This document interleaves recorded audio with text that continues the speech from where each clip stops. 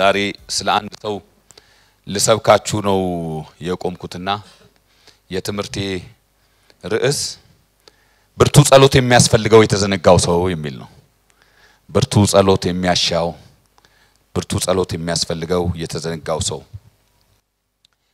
በአሁኑ ዘመን ሰዎች ለውጫዊ ማንነታቸው በጣም ትልቅ ቦታ የሚሰጡበት ጊዜ ነው። በሰዎች ፊት አምረው ለመታየት ተቀባይነት እንዲያገኙ የማያደርጉት ነገር የላቸው። ለዚህ ይመስለኛል እንግዲህ በተለይ እህቶቻችን የኮስሞቲክስ ዋጋ የተወደደባችሁ ማለት በቃ የማይመጣ እንትን የለም። ይሄኛው ነው አሪፍ ብለዋችሁ ከዛ ይሄኛው ነው አሪፍ እና አይታችሁ እንደሆነ በ social ሚዲያዎች የሚሰሩት ቀልዶች ሁሉ ከሰው ራሱን ለውጦ ለመቅረብ ከሚያደርገው ጥረት ጋር የተያያዙ ናቸው እና ወንዶችም ቢሆን እንደሱ እና ወንዶች ይሁኑ እህቶች ይሁኑ መለየት እስኪያቀተን ድረስ ይጨነቅ ቅንድባቸውን ሁሉ ሲቀነደቡ ታያላችሁ። ማለት ብሏል አንዱ።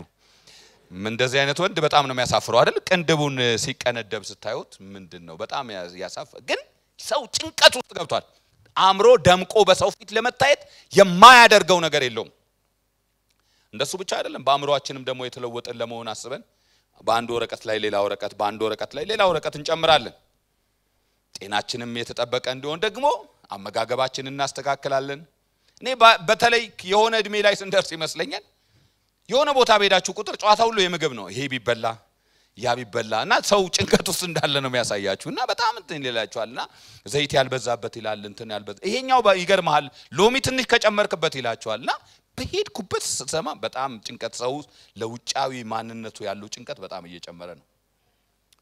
ደግሞ ሰውነቱም በጣም ሸንቀጥ ያለ እና የሆነ ነገር እንዲሆን ደግሞ ስፖርትም ደግሞ ማዘወተር መጥፎ ባይሆንም ደግሞ በቃ ስፖርት አሁን በጣም expensive እየሆኑ ከመጣ ነገር አንደኛው ስፖርት ቤት መክፈል ነው።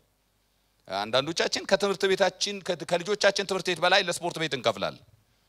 በጣም ያስጨንቀናል። ስለዚህ ለስፖርት ቤት የሚወጣው ወጪዎች በጣም እንትኖች ናቸው እና ስፖርት ቤት አልፎ አልፎ ሄዳለሁ እኔም እንዳቅሜ እና ስሄድ ሳይ ሰው እንዴት እንደሚጨነቃ ያለው እና ብረት ማንሳቱ ላይ አይደለም የሚጨነቀው፣ መስታወት ፊት መቆሙ ላይ ነው። እንደዚህ ብሎ ነው የሚሰራው። ምን ምን ያህል ለውጥ አለኝ ይላል። በቃ እንደዚህ ይላል። እና አንዳንዱ ሰው ደግሞ ያሳቅቀኛል። ምን ነው ራሱን ባላየ እላለሁ። ማለት በጣም ቀጭንዬ ሰው በቃ እንደዚህ ቆምና በቃ እንደዚህ እንደዚህ ይላል እና ይጨነቃል። በጣም ይጨነቃል። በቃ የሆነ ነገር ሆኖ ለማየት በጣም ይጨነቃል። በጣም ይጨነቃል። ሴቶች፣ ወንዶች፣ ትልልቆች፣ ትንንሾች ሁሉ በቃ እንዴት ነው ልጆቻችን ሳይቀር አሁን እኔ እኔ ድሮ ልጅ ሆነን የማንጠይቀውን ጥያቄ ይጠይቃል። ስንት pack አለ ይላሉ። እኛ እኛ አስራ ስድስት እንደሆነ አያውቁም ተከፋፍሎ ቦርጫችን እና እነሱ ስንት ስንት pack ነው ትክክለኛው? ስድስት three three piece ነው። three pack የለም ስድስት ነው። አዎ ምንም ታውቁታላችሁ። እና ስንት pack አለ ይላሉ ልጆቻችን ይጠይቁናል። እና በቃ ያስጨንቀናል። እና እኛም መስታወት ፊት ቆመን ስንት ነው እንላለን። ከዛ አስራ ስድስት ሲሆንብን እንተወዋለን። እና ጭንቀት ሰው በጣም ይጨነቃል። ይሄ ስህተት አይደለም በራሱ መጽሐፍ ቅዱሳችን ራሱ የሚደግፈው ነውና ጳውሎስ በተለይ ያበረታታል። ጳውሎስ አንደኛ ጢሞቴዎስ ምዕራፍ አራት ቁጥር ስምንት ላይ የአካል ብቃት ልምምድ ለጥቂት ነገር ይጠቅማል ይላል እና መጽሐፍ ቅዱሳዊም ነው። ሰው ራሱን ማንቀሳቀሱ ስፖርታዊ እንቅስቃሴ ማድረግ መጽሐፍ ቅዱሳዊ ነው፣ ለጥቂት ይጠቅማል። ግን የሚገርመው ይሄ ብቻ ሳይሆን ስፒሪቹዋሉም ነገር ላይ መንፈሳዊም ነገር ላይ ስንመጣ ጸሎት ለሁሉም ነገር አስፈላጊ ቢሆንም ነገር ግን በአብዛኛው ጸሎቶቻችንም ከውጫዊ ነገሮቻችን ጋር ነው የሚያዙት። ትንቢቶቻችንም ምኖቻችንም የሚያዙት ከእሱ ጋር ነው። በቃ እንደዚህ ትሆናለህ፣ እንደዚህ ከፍ ትላለህ፣ እንደዚህ ታደርጋለህ። እግዚአብሔር አንስቶ እዚህ ጋር ሲያስቀምጥህ አየው። እሱን ነው የምንለውና ውጫዊ ነገራችን ነው በቃ የሚያስጨንቀን እንደሱ ነው። በእግዚአብሔር ፊት የበለጠ ዋጋ ስላለው ስለ መንፈሳዊ ማንነታችን ብዙ አንጨነቅም። ዛሬ ስለ እሱ ላወራ ስለሆነ ነው። ዛሬ የምንመለከተው የጳውሎስ መልእክት ነው። ለአማኞች ያደረገላቸው ጥብቅ ጸሎት ኤፌሶን መጽሐፍ ላይ ነው የምመለከተው። በኋላ ላይ ያሳያችኋለሁ። የኤፌሶን መጽሐፍ ስለ ነገረ ድነት ጳውሎስ በጥልቀት ካዘረዘረባቸው ካስተማረባቸው መጽሐፍቶች በጣም አንድናው አንደኛውና ዋነኛው ነው። መልእክቱን ሲጀምር ጳውሎስ የሚነሳው እግዚአብሔር ቅዱሳንን በልጁ በኩል እንዴት አድርጎ እንደወደዳቸው የኃጢአት ስርየት ሰጥቷቸው ደግሞ በጸጋው ብዛትም ለክብሩ ልጆች እንዳደረጋቸው ይናገራል። ለእነዚህንን የምስራች ሰምተው ለዳኑ ደግሞ በመንፈስ ቅዱስም ጳውሎስ የሚጸልላቸው በመንፈስ ቅዱስም ደግሞ ብርታት እንዲያገኙ ነው። ጳውሎስ በዚህ መጽሐፍ ውስጥ በተለየ ሁኔታ ሁለት ጥብቅ ጸሎቶችን ያደርጋል። አይታችሁ እንደሆነ ጸሎቶች አሉ ጳውሎስ። የመጀመሪያው ምዕራፍ 1 ከ16 እስከ 17 ምዕራፍ 1 ላይ ያለው ነው። ስለ እናንተ እያመሰገኑ ስለዚህ ስለ እናንተ ማሳሰብን አልተውም። የክብር አባት የጌታችን ኢየሱስ ክርስቶስ አምላክ እርሱን በማወቅ የጥበብና የመገለጥን መንፈስ እንዲሰጣችሁ እለምናለሁ ይላል። የጥበብ ያለ የመገለጥ ያለ እያልኩ በእግዚአብሔር ፊት ተንበርክኬ ስለ እናንተ ጸሎት አደርግላችኋለሁ ይላል። ዛሬ ሁለተኛው ጸሎቱ ላይ ነው። ሁለተኛው ጸሎቱ ደግሞ የምናገኘው ምዕራፍ 3 ከ14 እስከ 21 ባለው ውስጥ ነው። እሱ ጸሎት ላይ ደግሞ እንደዚህ ይላል። እሱ ነው የመልእክታችን ክፍል። ስለዚህ ምክንያት በሰማይና በምድር ያለ አባትነት ሁሉ ከሚሰየምበት ከአብ ፊት እንበረከካለሁ ይላል። በመንፈሱ በውስጥ ሰውነታችሁ በኃይል እንድትጠነክሩ ክርስቶስ በልባችሁ በእምነት እንዲኖር እንደ ክብሩ ባለጠግነት መጠን ይስጣችሁ። የእናንተ ስርና መሰረት በፍቅር ይጸና ዘንድ ከቅዱሳን ሁሉ ጋር ስፋቱና ርዝመቱ ከፍታውም ጥልቀቱ ምን ያህል መሆኑን ለማስተዋል ከመታወቅ የሚያልፈውን የክርስቶስን ፍቅር ለማወቅ ትበረቱ ዘንድ እስከ እግዚአብሔርን ፍጹም ሙላት ድረስ ደርሳችሁ ትሞሉ ዘንድ እንግዲህ በእኛ እንደሚሰራው ኃይል መጠን ከምንለምነው ወይም ከምናስበው ሁሉ ይልቅ እጅግ አብልጦ ሊያደርግ ለሚቻለው ለእርሱ በቤተ ክርስቲያን በክርስቶስ ኢየሱስ እስከ ትውልዶች ሁሉ ከዘላለም እስከ ዘላለም ክብር ይሁን ይላል። አሜን እንላለን። እሱም ራሱ አሜን ብሏል። ጳውሎስ እንግዲህ ይህንን መልእክት የሚጽፈው ለኤፌሶን አማኞች ነው። ይህን መልእክት የጻፈው በሮም እስር ላይ ሆኖ ነው። ከእስር ቤት መልእክታቶቹ አንደኛው የኤፌሶን መልእክት ነው። ጳውሎስ ይህንን ምናልባት በመጀመሪያው እስሩ ላይ በሮም በቁም እስር በቤት ውስጥ እስር እያለ እንደ ጻፈው ይታመናል። በእርግጥ ጳውሎስ በዚህ ጊዜ ሁለት ዓመት በቤት እስር ከታሰረ በኋላ በኔሮን ቄሳር እስከሚገደልበት ጊዜ ድረስ አምስት ዓመት አንጻራዊ ሰላም እንዳገኘ እየተዘዋወረ እንደሰበከ በኋላም ላይ ደግሞ ከአምስት ዓመት በኋላ በኔሮን ቄሳር እንደተገደለ ታሪክ ይናገራል። ነገር ግን ሐዋርያ ሥራ የጳውሎስን ታሪክ ምዕራፍ 28 ላይ ቢጨርሰው እዛው በቁም እስር እንዳለ በቤት ውስጥ እስር እያለ እያገለገለ ቤቱ አንዳንድ ሰዎች እየመጡ እየሰበከ እንዳለ ነው የሚነግረን። ግን ምን ይላቸዋል? እስር ቤት ነኝ ይላል። በጌታ እስር የሆንኩ የሚል እዚሁ ኤፌሶን ላይ ታገኛላችሁ። በጌታ እስር ነው። በጌታ ምክንያት እስር ቤት ገብቷል። እና ይሄ በእስር ቤት ያለ ሰው የታሰረ ሰው በእስራት ውስጥ ሆኖ በጣም ያሳስባል። ስለ ነገሩ እርግጠኛ አይደለም። anytime በቄሳር ፍርድ አማካይነት ወደ ሞት ሊሄድ እንደሚችል ያውቃል። የሞት ፍርድ የሚጠባበቅ ሰው ነው እና በዚህ ሁሉ ውስጥ ሆኖ የራሱ በጣም የሚያሳስቡት ጉዳዮች ኖረውት ግን ይገርማችኋል፣ እንደዚህ ይላል። እኔ ስለ እናንተ ሳስብ በቃ በጣም የሚያሳስበኝ ጉዳይ አለ አለ። ከኔ ከግል ሁኔታ ይልቅ የሚያሳስበኝ ጉዳይ አለ።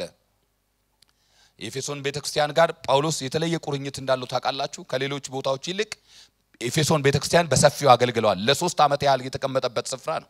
ከእነሱ ጋር ጥብቅ ወዳጅነት አለው። አገልግሏቸዋል፣ ደክሞባቸዋል። ውጤታማ የሚሆንበት አገልግሎት ነው።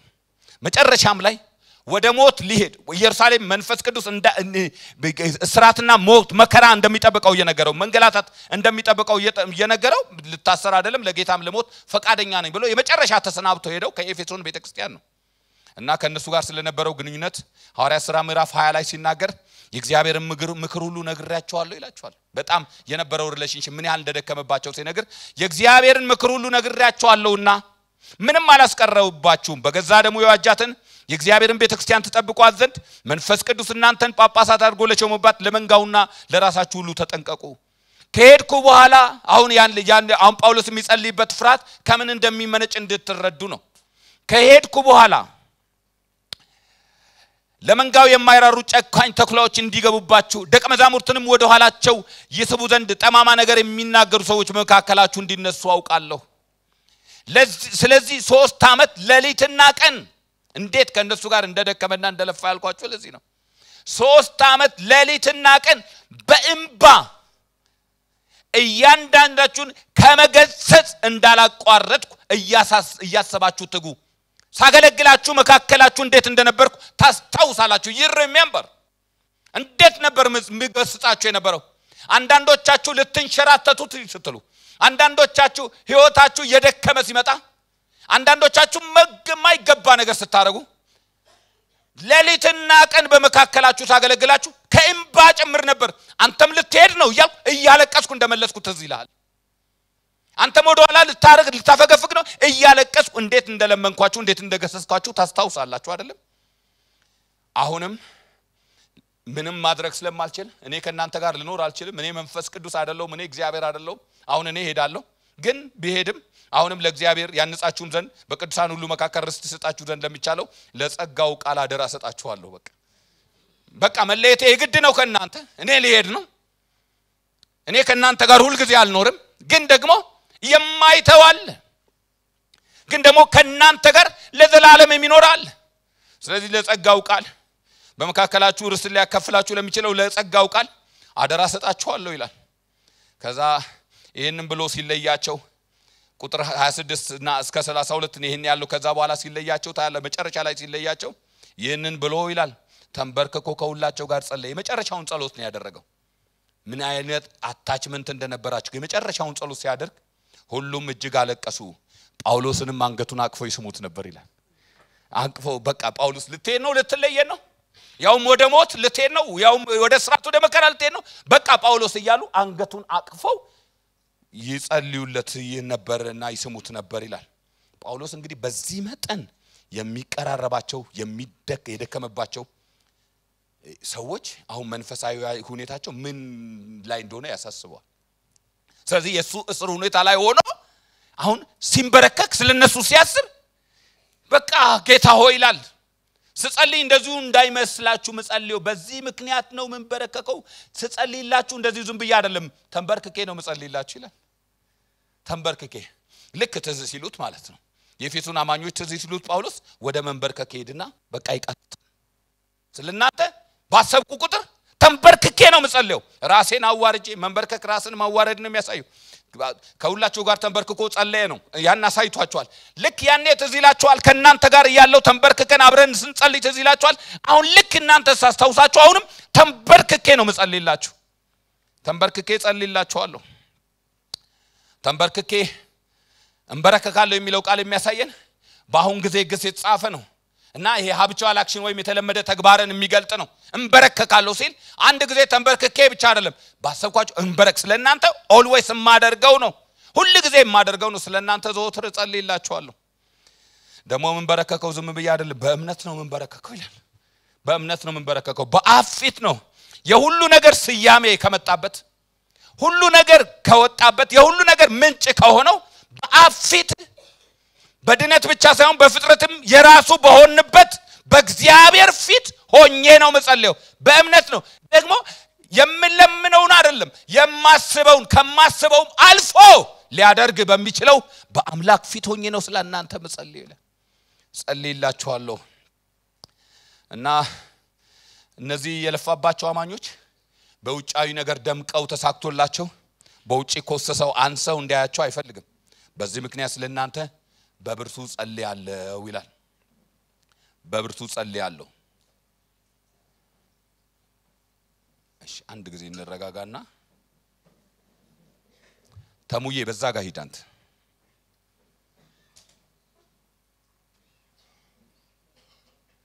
ምናልባት ሚሪንዳ ምናምን ደም ስለተሰጣችሁ አንዳንዶቻችሁ ደም ስለተሰጠ ዛሬ ትንሽ እንትን አለና ዴቭ በዚህ ጋር ሂድና ሚሪንዳ ነገር አቀብላችሁ ሁለት ሶስቴ እንዲህ ስለገጠመ ነው ምንም አይሆኑም ማለት ነው። ደም ስትሰጡ አንዳንድ ጊዜ እንደዚህ ይኮናል።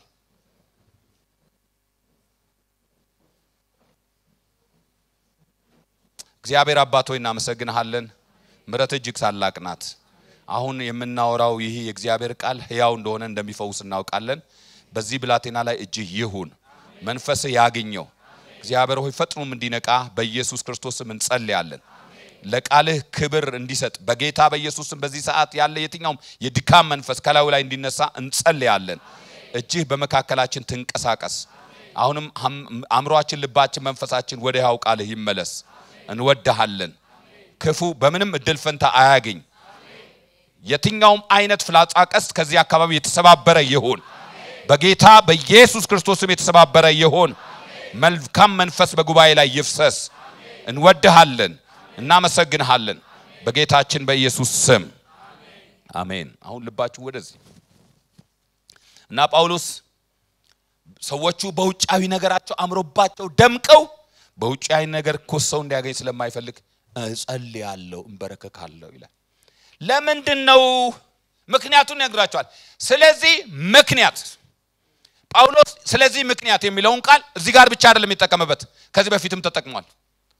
የሚያደርጋቸውን ድርጊቶች ሪዝኑን ይነግራቸዋል። አሁን ሁለተኛም ሲነግራቸው ስለዚህ ምክንያት ነው በአብ ፊት የምንበረከከው። ዝም ብዬ አንዳንድ ጊዜ እንደምናደርገው በቃ ወደ ጸሎት ስንገባ አንዳንድ ጊዜ እንደ ክርስቲያን ስለሆንን የምንጸልይበት ዋና ጉዳይ ሀሳብ አጀንዳ ይዘን ሳይሆን ዝም ብለን እንበረከካለን። ዝም ብሎ መንበረከክ ችግር አለው እያልኩ አይደለም። ስንጸልይ መንፈስ ቅዱስ የሚሰጠን ነገር አለ። ግን በአብዛኛው ቅዱሳን ሲጸልዩ ምክንያት አላቸው። የጸሎትም ርዕስ ይዘው ነው የሚንበረከኩት። እና ጳውሎስ ርዕስ ይዤ ነው የምንበረከከው። አንድ ሰውዬ ያለ ውስጣችሁ ይለን። አንድ ሰውዬ ይጎዳል ብዬ የሚያሳሳኝ ሰው ውስጣችሁ አለ። ይከሳል ብዬ የሚያሳስበኝ ሰው ውስጣችሁ አለ። እና ይህ የውስጥ ሰዋችሁ እንዲጠነክር ነው። የድሮ የ1954ቱ ትርጉም በኃይል እንድትጠነክሩ ይላል። እንድጠነክር ብቻ አይደለም፣ በኃይልም እንዲጠነክር ነው ምጸልየው ይላል። የውስጥ ሰው የሚለው በክርስቶስ ላለ አዲሱ አማኝ መንፈሳዊ ማንነት ወይም መንፈሳዊ ሕይወቱ ማለት ነው። ዳግም ላልተወለደ ሰው ጌታን ለማያውቅ ሰው በመካከላችን ካላችሁ ድንገት የመጣችሁ ሰዎች ካላችሁ ላልተወለደ ሰው ዳግም ልደት ላላገኘ ሰው የሚለወጥ የሚያድግ መንፈሳዊ ማንነትና ሕይወት የለውም። የውስጥ ሰው የለውም። ስለዚህ የሚኖረውም የሚደክመውም ለውጭው ሰው ነው። ልክ ነው እሱ ማለት ይሄ ለአማኞች እንጂ እንደዚህ ለውጭው ነገር ብቻ መጨነቅ የሚያሳስበው ያኛው ተስፋ ስለሌለው የውስጥ ሰው የሚባል ነገር ስለሌለው መድከሙ ምንም አይደለም። እኛም ደግሞ ለውጭ ሰውነታችን መጠንቀቅ መጥፎ አይደለም። እንደው ጳውሎስ ስነ መለኮት የውጭ ሰውነታችን እጅግ አስፈላጊ ነው። መጽሐፍ ቅዱስ ላይ ሲነግረን ጳውሎስ በአንደኛ ቆሮንቶስ ምዕራፍ ሶስት ላይ ሰውነታ በተለይ ስድስቱ ነው ምዕራፍ ሶስቱ ስለ ህብረት ነው የሚናገረው። ምዕራፍ ስድስት ላይ ግን ከርኩሰት ስለ መራቅ ሲያስተምራቸው የሚነግራቸው ነገር እናንተ ሰዎች ይሄ ሰውነታችሁ እኮ ከመንፈስ ከእግዚአብሔር የተቀበላችሁት የመንፈስ ቅዱስ ማደሪያ እንደሆነ አታውቁም ይላል። ይህ ሰውነታችን የኃጢአት የክፉ ነገር ማደሪያ ሳይሆን የመንፈስ ቅዱስ ማደሪያ ነው። ስለዚህ ይሄ ሰውነታችን መጥፎ ነው አንንከባከበው አይደለም። ጳውሎስ ግን የሚያሳስበው አይደለም። እሱን ስትንከባከቡ ምንም ማደሪያ ቢሆን አንድ ቀን ግን የሚጠፋ ነው። ጳውሎስ እኮ ምዕራፍ አራት ላይ ሁለተኛ ቆሮንቶስ እኮ ምዕራፍ አራት ላይ የሚጠፋው የውጭው ሰውነታችን ይላል። ይሄ ሰውነት መቅደስ ብቻ ሳይሆን የሚጠፋም ነው። አንድ ቀን እኮ ይለወጣል፣ አንድ ቀን ይጠፋል። ለሚጠፋው አንድ ቀን ለሚፈርሰው ለዚህ ሰውነት በጣም ተጨንቃችሁ የውስጥ ሰዋችሁ እንዳይጎዳ ብዬ ስለ ውስጥ ሰውነታችሁ ነው መጸልየው። ነገር ግን ደስ የሚለኝ ነገር ይሄ የውስጥ ሰው በስጋዊ ጥረትና ትግል የሚበረታ አይደለም። ለውስጥ ማንነታችን ጥንካሬ በጣም አስፈላጊ ነገር አለ። እሱም እንድትበረቱ የሚለው እግዚአብሔር በመንፈሱ በኩል እንዲያበረታችሁ ነው። የሰውን የውስጥ ሰውነት ማንነት የሚያበረታው የእግዚአብሔር መንፈስ ነው። ስሙ ይባረክ። ሰው በእግዚአብሔር መንፈስ ካልተነካ ቤተ ክርስቲያን ስለመጣ ብቻ፣ መዝሙር ስለመሰማ ብቻ፣ ጥቅስ በማወቁ ብቻ፣ አማኝ ነኝ ስላለ ብቻ በውስጥ ሊለወጥ አይችልም። ትላንትና ትላንትና በጣም ከቲኔጆች ልቤን የነካኝ ነገር ከዛ በኋላ ወንድማችን መስፍንም የእግዚአብሔርን ቃል ሲያቀርብ እናንተ ብቻ ሳይሆን እኛም ብሎ ደገመው እንጂ እዚህ የቆም ነው የክርስቲያን ልጆች ብቻ ስለሆነ አይደለም፣ እግዚአብሔር ስለነካን ነው አሉ። በጣም ደስ አለኝ። የክርስቲያን ልጅ በመሆን ብቻ ሰው አይለወጥም። ቤተ ክርስቲያን ስለመጣ ብቻ ሰው አይለወጥም። ንክኪ ያስፈልገዋል። ከእግዚአብሔር መንፈስ ጋር encounter ማድረግ አለበት፣ መነካካት አለበት። የእግዚአብሔር መንፈስ ያልነካው ሰው አይለወጥም። ስለዚህ ጳውሎስ ምን ነው ምንድን ነው የእግዚአብሔር መንፈስ በውስጣችሁ እንዲሰራና የውስጥ ሰውነታችሁ እንዲጠነክር ይላል። ወገኖች ሆይ ሰዎች አገልጋይ ሆነው ዘማሪ ሆነው ነቢይ ሆነው እንኳን ውጫዊ ሰውነታቸው በብዙ ነገር ፋፍቶ በብዙ ነገር ፋፍቶ በበረባሱ አውቀናቸው አሁን በቃ ማርክ እየነገሩን የጫማቸውን ማርክ እየነገሩን በሆነ ከነቴራ አውቀናቸው ዛሬ በጣም የተለየ ይሄ የምለብሰው ያየው የጣሊያን ነው ዝም ብሎ አይምሰል እያሉ መኪና እየቀያየሩ ብዙ ነገር እየሆኑ ፖፕላር ሆነው ታዋቂ ሆነው ግን ኩስስ ያሉ በመንፈስ በጣም የተጨቆኑ ሰዎች አሉ። እና ቤተ ክርስቲያን መምጣት ሰውን አይለውጥም። የእግዚአብሔር መንፈስ ነው ሰውን የሚለውጥ። ለምን በደንብ አሜን አትሉ? ከእግዚአብሔር መንፈስ ጋር ያልተነካካ ሰው ቤተ ክርስቲያን ስለመጣ ቤተ ክርስቲያን ስለተመላለሰ አይለወጥም። የእድገት ምንጫችን የእግዚአብሔር መንፈስ ነው። ለዚህ ነው ጳውሎስ በመንፈሱ በኩል በኃይል እንድትጠነክሩ ይላል። ሰው የእግዚአብሔር መንፈስ ሲሞላው እግዚአብሔርን ደስ የሚያሰኘውን ነገር ለማድረግ በእግዚአብሔር ፈቃድ መመላለስ ይችላል። ጳውሎስ በሌላ ስፍራ ሲነግረን በሮሜ ስምንት ላይ ታችሁ እንደሆነ እንደ ስጋ ፈቃድ የሚኖሩ የስጋን ነገር ያስባሉ፣ እንደ መንፈስ ፈቃድ የሚኖሩ ግን የመንፈስን ነገር ያስባሉ። ስጋ ስለ ስጋ ማሰብ ሞት ነውና ስለ መንፈስ ማሰብ ግን ሕይወትና ሰላም ነው። ስለ ስጋ ማሰብ በእግዚአብሔር ጥል ነውና ለእግዚአብሔር ሕግ አይገዛምና መገዛትም ተስኖት። አቤት የሚገልጥበት ቋንቋ! ሰው በስጋ ጥረት ብቻ ለመለወጥ የሚያደርገው ጥረት እንዴት አድካሚና ከንቱ እንደሆነ ሲነግረን አይለወጥም ብቻ አይደለም የሚለው እኮ እንደዚህ ነው ብለው አይገዛም። ለእግዚአብሔር ሕግ መጀመሪያ ደረጃ ላይ ስጋ አይገዛም። መገዛት ብቻ አይደለም አቅቶት ነው ስለማይፈልግ አይደለም ይላል። አቅቶት ነው፣ ተስኖታል። ለእግዚአብሔር ሕግ መስጀት ተስኖታል። በስጋ ያሉት እግዚአብሔርን ደስ ሊያሰኙት አይችሉም ይልና እንደዚህ ይላል። እናንተ ግን ሃሌሉያ፣ እንደነዚህ ያሉ እናንተ ግን በጣም አደገኛ ናቸው። በንጽጽር የቀረቡ ስለሆነ እናንተ ግን የእግዚአብሔር መንፈስ በእናንተ ዘንድ ቢኖር በመንፈስ እንጂ በስጋ አይደላችሁም ይላል። ስለዚህ ለውጣችን የእግዚአብሔር መንፈስ በውስጣችን ስለሚመጣ የእግዚአብሔር መንፈስ ሲሞላን ሲፈስ ሌላ ህይወትን ስለሚሰጠን የውስጥ ሰውነታችን እየጠናከረ ይመጣል። ይሄ ግን የውስጥ ሰውነት መጠንከር ማለት ልጆች ሆነን አንዳንድ ሰዎች በጣም ፍልስፍናዊ ብቻ አድርገው እንደሚያቀርቡት አይደለም። በጣም ከሚጨንቀኝና ከማይገቡኝ ትምህርቶች በጌታ ልጅ እያለሁ የውጭ ሰው የውስጥ ሰው የሚሉት ነበር። አንዳንድ ሰዎች ያለምንም ማብራሪያና መገለጭ የውስጥ ሰውህ ያ ሰውዬ ዘኢነርማን ምናምን ብለው መንፈስ በደሞ በእንግሊዝኛ ሲያደርጉት ትንሽ እንትን ይላል እና ዘኢነርማን ምናምን ምናምን ሲሉን በቃ ፍልስፍና። ወንድሜ የውስጥ ሰውህ አሁን ልክ ለምሳሌ ስጋ ሲመቸው እንደሚያስታውቅ የውስጥ ሰውም ሲጠነክር ያስታውቃል። ሰምታችሁ ያላል ስጋ ከሆነ አንተ አምሮብሃል፣ የሚልህ እኮ ተገልጦብህ ነው አይደለም። በቃ ደግሞ ምን ሆነ ነው እንደዚህ አመዳም የሆንከው ደግሞ ሲልህ በስጋ ላይ የሆነ ነገር እንደሆነ ራወፋፈሩ የጤና አይደለም ሲልህ በስጋ ላይ ይገለጣል። ውጫዊ ደህንነትህ በስጋ እንደሚገለጥ መንፈሳዊ ሕይወትም ደግሞ መጠንከርህና ማደግ ይገለጣል። ጳውሎስ በውስጥ ሰውነታችሁ ስታድጉ የሚሆኑ ነገሮች አሉ ይላል። የመጀመሪያ ምን ይሆናል? ክርስቶስ በልባችሁ በእምነት ያድራል ይላል። ሰምታችኋል?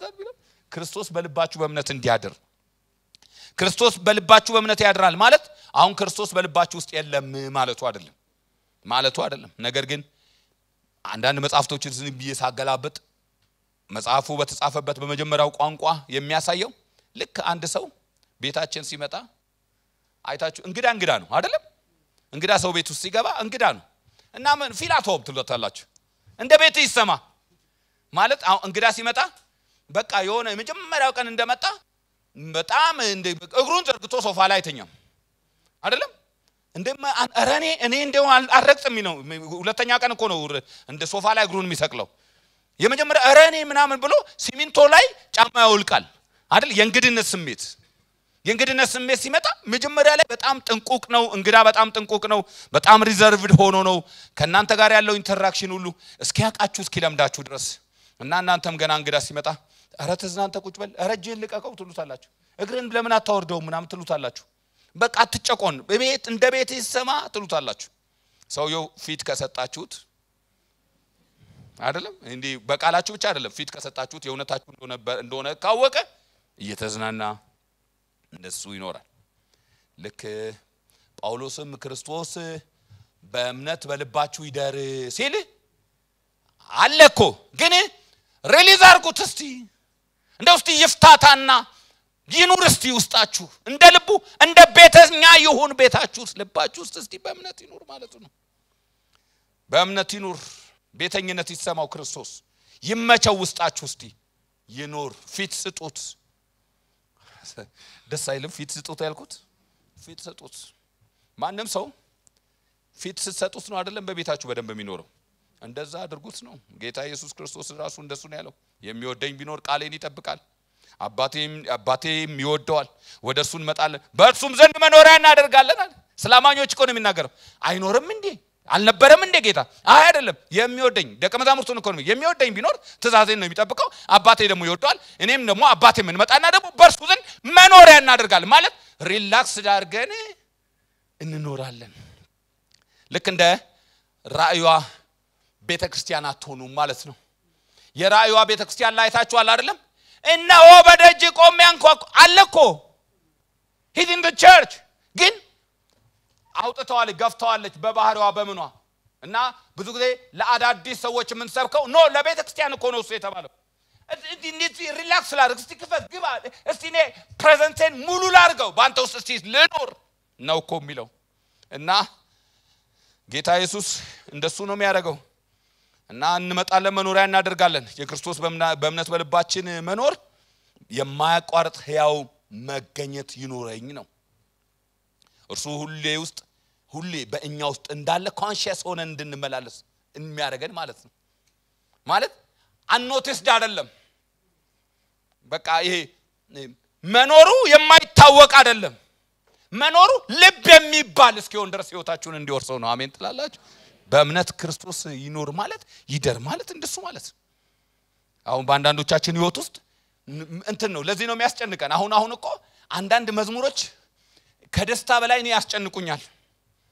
በቃ መገኘት ህልውና የሚሉ መዝሙሮች ሲበዙ እጥረቱን ነው የሚያሳዩን። ከእንትኑ በላይ እጥረቱን ነው የሚያሳዩ ማለት አንዳንድ ጊዜ በቃል መግለጥ ይሄ ውስጣችን ያጣነውን የእሱን በሙላት መገኘት የእኛን መውረስ በመዝሙሮች experience ማድረግ እንፈልጋለን። ስለዚህ እንዲህ ያለ መዝሙሮችን በመዘመር ልናመጣው እንፈልጋለን። እንደሱ አይደለም ቢለው በእምነት ይኑር በውስጥ እምነታችሁ ውስጥ ነገሩ በመዝሙር አጠሩትም ይመጣል። እሱ ራሱ ሁለንተናችሁን ይወርሰዋል እና ክርስቶስ በመገኘቱ ሙላት ይባርካችኋል። በቃ ደስ ይለዋል ማለት ነው። እና ፊት ስጡት ያልኩት ለዛ ነው። በመገኘቱ ሙላት እንዲባርካችሁ በሙላት ውስጣችሁ እንዲያድር ማለት ነው። ሌላ ሁለተኛ ጳውሎስ የሚያነሳው ምንድን ነው? ደግሞ ስር ሰደን በፍቅር እንታነጻለን ይላል። በውስጡ ሰውነታችን በኃይል ስንጠነክር ስር ሰደን ክርስቶስ በእምነት በልባችን ውስጥ ያድር። በፍቅር መታነጻችን የግድ ነው። ተከታታይ ነገር ነው ለምናደርገው ለማንኛውም ምክንያት ገፊ ምክንያታችን ወይ motive ራሱ ፍቅር ይሆናል። ከ motive ስንገስጽም፣ ስንወቅስም፣ ስንባርክም motive ኣችን ራሱ ፍቅር ይሆናል። ከፍቅር ይመነጫል። ሰዎች በብዙ ንግግራቸው ሳይሆን በንግግራችን በስብከታችን ሳይሆን የሚያውቁን በፍቅራችን ይሆናል ማለት ነው። ጌታ ኢየሱስ ክርስቶስ ይሄንን ደጋግሞ ተነግሯል። እርስ በርሳችሁ ተዋደዱ፣ ሌላ ትእዛዝ አልሰጣችሁም ማለት እና ያ ይሆናል በውስጥ በፍቅር መታነጽ። ጳውሎስ እንዳለው እርስ በርሳችን ከመዋደድ በቀር ለማንም ዕዳ አይኑርባችሁ እንዳለው ከሰው ከሌላ ምንም expect የምናደርገው ነገር እሱም ምንም expect ከፍቅር በቀር በመካከላችን ምንም የማይሆን ነገር እስኪሆን ድረስ ማለት ነው። ክርስቶስ በልባችን ሲያድር ይሄ የአማኞች ሕይወት ይሆናል። የአማኞች ሕይወት ይሆናል። በማንም ላይ አንዳች ቢኖረን እንተወዋለን፣ ችክ አንልም ማለት ነው። የችክ መንፈስ እግዚአብሔር ይውጋው። ይሄ በቃ ሰውንም አይለቅ አንሆንም ማለት ነው። ሰውን ወዳጆች እንሆናለን። ሰውን አፍቃሪዎች እንሆናለን።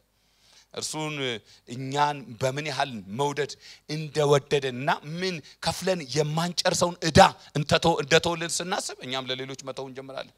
በጣም የሚያሳዝነኝ በአማኞች መካከል መኖር የሚገባው ዋነኛ ነገር ፍቅር ሆነ። አሁን ብርቅዬው እሱ ነው ታውቃላችሁ። በጣም ብርቅዬው ነገር ምንም ስንወድ መርጠን ጌታ ይገስጸን። አሜን ትላላችሁ? አሜን ስንወድ መርጠን ነው። ስንስቅ መርጠን ነው። ፊት ስንሰጥ መርጠን ነው። በጣም ይገርመኛል። በጣም በጣም በጣም በጣም ከልቤ ነው ምላችሁ። እንደ መጋቢ የሚያሳስበኝ እንደ ክርስቲያን ወንድም የሚያሳስበኝ ነገር ሰዎች በእግዚአብሔር ማህበር መካከል በእግዚአብሔር ጉባኤ መካከል እየኖሩ አማኞች ሆነው ለፍቄ ፊት ሲሰጡት ታየን ፊት ሲነሱት በጣም ያስደንቀኛል። እንዴት ቻሉበት እላለሁ። ከዛ መጾም ላይ አንደኛ ናቸው፣ መጸለይ ላይ አንደኛ ናቸው። አንተ እንዴት እዚህ አጠገብ ላለው ፊት ከልክለው እዛ ፊት ትፈልጋለህ? አይቻልም እኮ እኔ እንኳን በአቅሜ ልጆቼን የገላመጥክብኝ እንደሆነ አንዳንድ ሰው ሞኝ ነው ፓስተርዬ ምናምን ብሎ ልጆቼን ሊገላምጥ አልችልም። ደስታዬን ትወስደዋለህ። ደስታዬን በቃ እኔ ለእኔ ፊት ባሰጠኝ ለልጆቼ ፊት የሰጠሃቸው እንደሆነ በስማ ለእኔ እንደ ሳክልኝ ነው የምቆጥረው። አየህ አንዳንዱ ሰው ለፍጥረቱ ጌታን ለሚወደው ሰው ፊት ይነሳና አንተ እኮ ጌታ ምናምን አይቻልም፣ አትችልም። እና እንዴት ነው የሚቻለው? ነው እንዴት ይቻላል? አይቻልም ነው የሚለው። ፍቅር ስር መስደድ አለበት በመካከላችን። መምረጥ ማቆም አለብን። አሜን በሉ ባካችሁ። ወንድሞችን ሁሉ ያለ መለያየት መውደድ አለብን። መቀበል አለብን። መቀበል አለብን። አይመቸውም ጌታ በውስጣችሁ በእምነት የሚያድረው ጌታ በቤተ ክርስቲያን ውስጥ ለወንድም ፊት ነስተው እኔ ጋደር ብትለው አይመቸውም። በቃ ያኮርፋል፣ ደስ አይለውም፣ ያዝናል። እስቲ መንፈስ ቅዱስ ያዝናል የሚለው መቼ ነው ያዘነው? ብዙ ኃጢአቶች ሊያሳዝኑት ይችላሉ አይደለም? በውስጣችሁ ግን ያለውን የእግዚአብሔርን መንፈስ እንዳታሳዝኑት የተባለው መቼ ነው? መራርነት አይደለም? ንዴት አይደለም? ቁጣ፣ ክፉ ንግግር፣ ይሄ ሁሉ ከምን ጋር ከወንድሞች ጋር ነው የሚገናኘው። መንፈስ ቅዱስ የሚያዝነው መቼ ነው? ወንድም ላይ መራር ስትሆን፣ ወንድም ላይ ቁጡ ስትሆን፣ ወንድምን ስትሰድበው፣ ወንድምን ስትጮህበት፣ ወንድምን በቃ መንፈስ ቅዱስ በጣም የሚያዝነው እሱ ጋር ነው። እና ፍቅር ማለት እሱ ነው። ወንድሞችን መውደድ ማለት እሱ ነው። የእነሱን ወንድም ሸክም ለመሸከም ፈቃደኛ መሆን ገላትያ ምዕራፍ ስድስት ቁጥር ሁለት ላይ እኛ መንፈሳውያን ከሆንን ማለቱ ነው። እኛ መንፈሳውያን የተሻለን ሰዎች ከሆንን እንደው የደከሙ ሰዎችን እንደው አጥፍተዋል ባይደዌ ባይደዌ እኔ ሰው አያጠፋም ብዬ እየተከራከርኩ አይደለም። እንደ ሰው አጥፊ ያለ ሰው አይበድልም አይደለም ለው በድዬም ተበድዬም የማቅ ሰው ነኝ። ወደፊትም ደግሞ ጋራንቲ ማንንም ማንንም አልበድልም ብዬ ጋራንቲ ምገባ ሰው አይደለሁም። ለማንም ጋራንቲ አልሰጥም። ልበድላችሁ እችላለሁ። ደግሞ ጌታ ምስክሬ፣ ይሄማ ሰው አይበድለኝም ልል አልችልም። ይህንንም ተስፋ ልሰጥ አልችልም። እንበዳደላለን። ጌታ ይባረክ። ስለምንበዳደል ማለት ነው። ጌታ ይባረክ። ይሄ የሰው ተፈጥሮ ውስጥ ያለ በወንድሞች መካከል ያለ ነው። ግን እንደው ተፈጠረ ይባል አንተ የተሻልክ መንፈሳዊ ሰው ከሆንክ ምንድን ነው የምታደርገው? ወንድሞች ሆይ ሰው በማናቸውም በደል ቢገኝ እናንተ መንፈሳዊ ነኝ ቢላችሁ ያለው መንፈሳዊ ሆናችሁ እናንተ ያ እንደዚህ ያለውን ሰው በየዋህ መንፈስ አቅኑት። በጀንትል ስፒሪት ማለት ነው። በየዋህ መንፈስ አቅኑት። እንዳትፈትን ራስን ጠብቅ። እያንዳንዱ የሌላውን ሸክም ይሸከም ይልና እንግዲህ እንደዚህ የክርስቶስን ሕግ ፈጽሙ ይላል። የክርስቶስ ሕግ ምንድን ነው? ወንድምህን መውደድ ነው። ጌታ ኢየሱስ ሌላ ሕግ አልሰጣችሁም ማለት አይደለም። ሌላ ሕግ አልጨምርላችሁም። ሌላ ሕግ እኮ አልሰጣችሁም። የሚሰጣችሁ ባልንጀራ እንደ ራስህ ውደድ የሚል አይታችኋል። አዎ እሱን ፈጽሙት፣ እሱን ጠብቁታል። እሱ ነው ትልቁ ሕግ፣ የክርስቶስ ሕግ።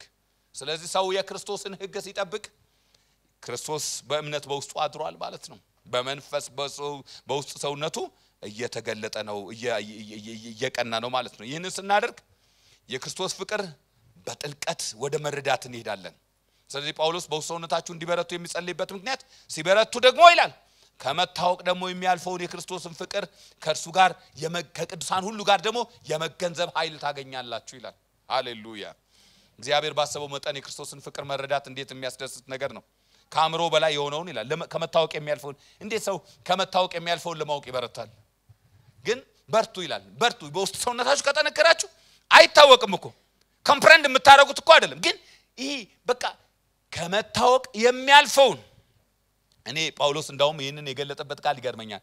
ልጆች ሆነን እኛ የዛሬ ልጆች እንዲህ ሲሉ አልሰማሁም። እኛ ልጆች ሆነን የምንገልጥበት ቋንቋ ቋንቋ እናጣለን እና የምንገልጥበት አይነት የተጠቀመ ነው ይመስለኝ። ልጆች ሆነን ወላጆቻችን ምን ያህል ተወደናል ይሉን እና ምን ያህል ተወደናል ሲል ምንድን ነው ምንለው? የአሁን ልጆች አታውቁም አይደል እንደዚህ እናንተ ምክንያቱም እያያችሁ ነው ምናምን ብዙ ነገር ያደገ እኛ እስከ ሰማይ መመለስ እስኪያቅተን ማለት ነው ድረስ ነው መወደን እንላለን። ምን ማለታችን ነው? ቃላት የለኝም ላንተ ያለኝን ፍቅር መግለጫ ቃላት የለኝም። በቃ I love beyond my ልናገረው ልሰጥ ከምችለው ቃል በላይ እወድሃለሁ ልንል ነው። ጳውሎስ እንደሱ ያለ ያጣ ይመስለኛል። ይሄ የክርስቶስ ፍቅር ከመረዳት የሚያልፈውን የክርስቶስ ፍቅር እስቲ ቆይ ልንገራችሁ፣ ቆይ ምን ብዬ ላስረዳችሁ ይላል። ቃላት ያጣለት የክርስቶስ ፍቅር ስፋቱ፣ ርዝመቱ፣ ከፍታው፣ ጥልቀቱ። አሁን ፍቅር ምንድን ነው? ወደ ጳውሎስ ይህንን የክርስቶስን ፍቅር ለመግለጥ እንዴት ልግለጥላችሁ ይላል። እስቲ ቆይ ስፋቱ ይላል። በቃ ተዘርግቼ ተዘርግቼ ይደርስበታለሁ። አሮን ነው ይላል። እሺ ቆይ ርዝመቱስ በቃ ሮጬ ሮጬ ሮጬ ሮጬ ደርስበታለሁ አይደለም ደግሞ ከፍታ ውስጥ እንደው ዘልዬ ዘልዬ የቱ ጋር ነው የእግዚአብሔር ፍቅር የክርስቶስ ፍቅር? እደርስ አይደለም። እሺ ቆይ አይ ቆይ ስር ይሆናል ብዬ ቆፍሬ ቆፍሬ ያገኘዋለሁ የክርስቶስ ፍቅር? እኔ እንጃ ይላል። እኔ አልገባኝም። ስለዚህ እኔ የክርስቶስ ፍቅር ይሄ ነው አይደለም ብቻ ይሄ ነው አልላችሁም። ግን እሱን ከመታወቅ የሚያልፈውን የክርስቶስን ፍቅር ለማወቅ ትበረቱ ዘንድ ይላል እግዚአብሔር ይህን ጥልቅ ፍቅር የምንረዳበት አቅም ይስጠን። እና ለእኛ ያለው ፍቅር ምን ያህል ነው? ምን ያህል ነው የወደደን? ያንን ስንገነዘብ ሌሎችን መውደድ ቀላል ይሆንልናል። ይህንን ደግሞ ስንረዳ እስከ እግዚአብሔር ፍጹም ሙላት ድረስ ተደርሰን ይህ ማለት እስከ እግዚአብሔር ፍጹም ሙላት ድረስ አንዳንዶች እንደሚሉት አንዳንድ ሰዎች literally word ይወስዱትና by the way አንዳንድ መጽሐፍ ቅዱስ ላይ ለመረዳት የሚከብዱን አይነት ጥቅሶች አሉ። ከሚከብዱኝ መካከል ጥቅሶች አንደኛው ይሄ ነው ግን እንደው በአውድን ተርጉመው ካለን እስከ እግዚአብሔር ፍጹም ሙላት ድረስ ደርሳችሁ ትሞሉ ዘንድ ሲል እግዚአብሔር ጋር እኩዮች ትሆኑ ዘንድ እያለ አይደለም። እግዚአብሔር ያለውን ነገር ሁሉ ወስዳችሁ የእናንተ ማድረግ እስክትችሉ ድረስ ማለቱ ግን አይደለም። ከፍቅር ጋር አያይዞ ነው የተናገረው። ሂዳችሁ ብታነቡት። ስለዚህ የክርስቶስን ጥልቅ ፍቅር እግዚአብሔር በገለጠው መጠን እንድትረዱት እግዚአብሔር ለእናንተ ያለውን ፍቅር እስከዚያ ድረስ ደርሳችሁ እስክትሞሉ የእግዚአብሔር እውቀት እግዚአብሔር እናንተን ለመውደድ የሰጠውን ፍቅር ያንን እውቀት በሙላት እስክታገኙ እግዚአብሔር ለእናንተ የያዘው ነገር ላይ እስክደርሱ ድረስ እግዚአብሔር ለእናንተ ያሰበውን እስክታገኙ ድረስ እስከዚያ ድረስ እስክትሞሉ ነው ምጸልየው። ስለዚህ ምን ያህል ነው የምንወደው? ምን ያህል ነው እግዚአብሔርን የምናውቀው? የሚለው የሚወስንልን የውስጥ ሰውነታችን በመንፈሱ በኃይል መጠንከራችን ነው በኃይል ስንጠነክር እንረዳል። እናውቃለን እኮ ፍቅር እንደዚህ ነው ብሎናል። ዮሐንስ ሲነግረን ፍቅር እንደዚህ ነው። እግዚአብሔር እኛ እንደወደደን ስለ ኃጢአታችን ማስሪያ ዘንድ ልጁን እንደሰጠን እንጂ እኛ እግዚአብሔር እንደወደድ ነው አይደለም ይላል። ፍቅር እንደዚህ ነው። እግዚአብሔር ልጁን ሰጥቶናል። ግን ለምን? አሁንም እኮ ምንጠይቀው እሱ ነው። አንድ ዝማሬ ያለ እኮ ለምን ወደድከኝ አልልም? እንዲያው ከዛ ምንድን ነበር? ለፍቅር ጋር መግለጫ? እሺ በኋላ ጆስ ካወቀው ይዘምርልናል ብቻ ምንድን ነው በቃ ለፍቅር መግለጫ የለኝም። በቃ እንዲሁ ነው የወደድከኝ ግን አንድ ነገር ብቻ ነው ማውቀው እንዲያው ወደኸኛል የሚል እና እንዴት ልናውቀው? እግዚአብሔር ፍቅር ምን ያህላል? እግዚአብሔር ምን ያህል ነው የወደደን? ይህንን ፍቅር ለማወቅ ትበረቱ ዘንድ ይላል። ይህንን ፍቅር ለማወቅ ስንበረታ ይህንን ፍቅር ስናውቅ በውስጥነታችን በመንፈስ እየጠነከርን ስንመጣ ወንድሞችን መውደድ በጣም ቀላል ይሆንልን ወንድሞች ሆይ በክርስቲያኒቱ ውስጥ በጣም ኮር በጣም አስኳል ዋናው ነገር ወንድሞችን መውደድ ነው። ወንድሞችን መውደድ ነው። ወንድሞችን መውደድ እህቶችም እዚህ ውስጥ አላችሁ። ወንድሞች እናቶችን መውደድ ማለት ነው። አንድ ሰው በአንድ ወቅት ከረጅም ጊዜ በኋላ ከውጭ ሀገር ተመለሰና ከአንድ ጓደኛ ጋር ሆነን አገኘ ነው እና አገኘ ነውና ስናወራ ልዩ ልዩ እንግዳ ትምህርቶች ውስጥ ገብቶ ነበር። ወደዚህ ወደዚያ ወደዚህ ተንገላቷል። በጣም ብዙ ፍልስፍና ነው የሚያወራው። እስካሁንም ፍልስፍና እያወራ ነው ያለው እና በጣም ፍልስፍና ነው የሚያወራው እና እንጠየቅ እከሌ ሴት ደረሰ እከሌ ሴት ደረሰ እንላለን። እና እሱ ጋር አሜሪካ ያለው ወንድም ነበርና እከሌ ሴት ደረሰ ብለን ጠይቅ ነው። በጣም ፖፕላር በጣም አድማየር የማደርገው ሰባኪ ነው። እና አብሮን ያደገ ነው። የት ደረሰ?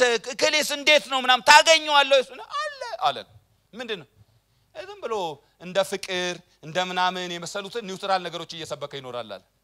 ከሰው ጋር የማያጋጩትን እንዲህ እኔ ከሰው ጋር የማያጋጩትን ምን ለማለት እንደፈለገ ባይገባኝም ግን ፍቅርን በጣም አሳንሶት የሆነ neutral ነገር በቃ እየሰበከ ፍቅር ተዋደዱ ምናምን ይላለን ዮሐንስን ምን ሊለው ነው አልኩ። ዮሐንስን ምን ሊለው ነው? ሐዋርያው ዮሐንስ እስከ መጨረሻው ድረስ ደጋግሞ የሰበከው ነገር ፍቅር ነው። መልእክታቱን ተመልከቱት። ፍቅር ነው የሚያወራው። እና ጄሮም የተባለው የቤተ ክርስቲያን አባት በአንድ ወቅት ስለ ዮሐንስ ሲናገር እንደዚህ አለ። ዮሐንስ በመጨረሻ ጊዜ እዚህ ኤፌሶን ቤተ ክርስቲያን እንደነበረ ያመልክ እንደነበረ ነው የሚታመነውና በመጨረሻ ጊዜ ዮሐንስ አርጅቶ ሰዎች ይዘውት ነበር የሚመጡት። በጣም አርጅቶ ቤተ ክርስቲያን ይመጣ ነበርና ለቡራኬ መጨረሻ ላይ ያስነሱት ነበር አለ። እና ሲያስነሱት ሁል ጊዜ በረከቱ ልጆች ሆይ እርሱ እንደወደደን እርስ በርሳችን ደግሞ እንዋደድ ይልና ይቀመጣል። ሌላ ነገር የለውም ሌላ መልእክት የለውም ወንድሞች ወይ አዲስ ኪዳን ትልቁ መልእክት ነው። ይህን የምልበት ምክንያት ለምንድን ነው? ብዙዎቻችን እያልኩ ያላችሁት በቃ እንደ ጉባኤ እንደ ምናምን ብቻ እንዋደድ አለም እያልኳችሁ ያለሁት።